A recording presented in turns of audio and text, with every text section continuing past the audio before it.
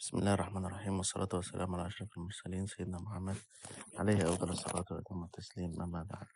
نلتقي معكم بخاطرة جديدة. إن شاء الله النهاردة هنتكلم عن الرحمة. آه، الرحمة شيء آه، ربنا سبحانه وتعالى خلقه ووضعه في قلب آه، العباد. الناس الحيوانات النباتات الأشجار احتمال الجمادات الله أعلم. ربنا سبحانه وتعالى آه، هو الرحمن هو الرحيم. آه، ربنا سبحانه وتعالى آه، خلق الرحمة 100 جزء احتفظ بيها فيها بتسعة وتسعين جزء عشان يرحم بيها العباد في الآخرة. وخلى واحد في المية من الرحمة دي هي اللي موزعة في قلوب البشر من ساعة خلق سيدنا آدم حتى قيام الساعة. وفيها ال- الأم بترحم أولادها والناس بيرحموا بعض وهكذا والحيوانات وهكذا.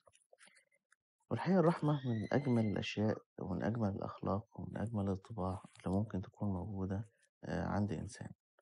وهي شيء صافي راقي يعني بيور صعب جدا إن هو آه، يعني يكون موجود غير من الله سبحانه وتعالى.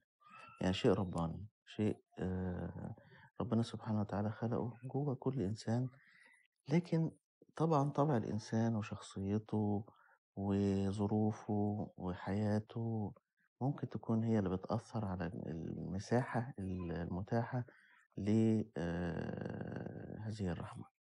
يمكن لما اتكلمنا في الخاطرة اللي أنا اتكلمنا فيها عن الحب وقلنا إن الحب فياض بيخلي القلب صافي بيخلي القلب آه، مليان خير. ومليان حب للناس. القلوب دي القلوب الصافية دي هي اللي ممكن تكون مليئة بالرحمة. وبيكون مفيش فيها مكان كبير للشرور. إنما آه، للأسف القلوب القاسية القلوب الشديدة آه، اللي هي بتنتج بقى عن أفعال الناس عن شرورهم عن ظلمهم عن قسوتهم عن كرههم آه، بنادر ما بتلاقي فيها مكان للرحمة. وإن كان بيكون موجود برضه بيحصل في مواقف معينة بيحصل ناحية تجاه ناس معينين وخاصة الأولاد سبحان الله. آه، يمكن أكبر مثال على الرحمة في حياتنا هي رحمة الأم بأبنائها وشعورها ناحيتهم من ساعة ما تحمل فيهم لغاية ما تولدهم وتشوفهم قدام عينيها وترحمهم وتخاف عليهم وتحاجي عليهم. آه، شيء عظيم جدا تمام؟ بنشوفه في الإنسان بنشوفه في الحيوان. حتى في الوحوش اللي في البرية الأسود النمور آه، بتلاقيهم عندهم حنان عجيب على آه، أبنائهم. ودي شيء من الفطرة من الفطرة السليمة اللي ربنا سبحانه وتعالى آه، خلق الناس آه، عليها. آه، طبعا الرحمة زيها زي أي شيء من الأخلاق تمام؟ محتاج إنك أنت تدعمه عشان يستمر وعشان يكبر. يعني دايما في مقولة مشهورة غالبا حديث يعني إنما الصبر بالتصبر وإنما الحلم بالتحلم وهكذا. فالرحمة ممكن نقول عليها بالترحم يعني إنك أنت تركز مع قلبك وتشوف ردود فعلك تجاه الناس وإنك أنت يعني تحكم عليهم من خلال الرحمة. دايما لما بندعي ربنا سبحانه وتعالى بنقول يا رب عاملنا برحمتك ما تعاملناش بعدلك. لأن إحنا نستاهل العقاب لكن رحمتك وسعت كل شيء. فلازم آه، آه، نكون نقتدي بال- بالحاجة دي عشان حتى إنه آه، في في الدين يعني ارحموا ترحموا يعني إذا كنت أنت بتحب إن ربنا سبحانه وتعالى يرحمك في الدنيا وفي الآخرة أنت كمان ارحم الناس. تمام؟ أنت كمان سامحهم أنت كمان اغفر لهم أنت كمان تجاوز عن سيئاتهم وإساءتهم آه ليك. طبعا آه، في حدود إن هم ما يأذوكش أو يستضعفوك أو ينتهكوك أو شيء من هذا القبيل يعني. فالرحمة شيء جميل جدا. وعلى فكرة الرحمة آه لا تتنافى مع القوة. لا تتنافى مع الردع. يعني المؤمن لازم يكون قوي. المؤمن القوي خير من المؤمن الضعيف.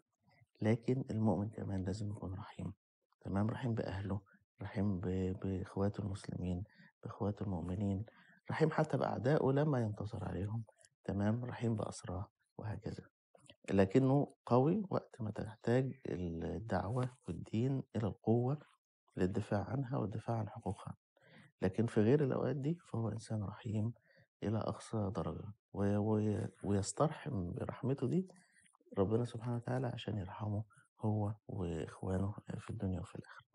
وربنا سبحانه وتعالى طبعًا قال إنه ربنا اشتق اسمه من اسم الرحمن ده من الرحم تمام، وجعل صلة الرحم تمام داعمة لهذا الأمر. فإذًا الرحم صلة الرحم والرحمة وكلها مصادر سبحان الله ربنا خلقها ومترابطة جدًا ما بينها وبين بعض، وإن شاء الله هنتكلم بعد كده عن صلة الرحم وعن دورها في الموضوع ده يعني. في جزء أخير بس اللي هو آآ لمّا الملايكة بتسأل ربنا سبحانه وتعالى باستغراب شوية، إن إزاي ربنا أنت صابر على الناس والبشر دول بذنوبهم وسيئاتهم وحاجاتهم، فقال لهم لو خلقتموهم لرحمتموهم.